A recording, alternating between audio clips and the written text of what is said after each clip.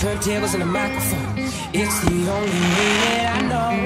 Baby, you could dig down and let it out. Don't be scared to hit the ground. Remember, you are never alone. Oh, yeah.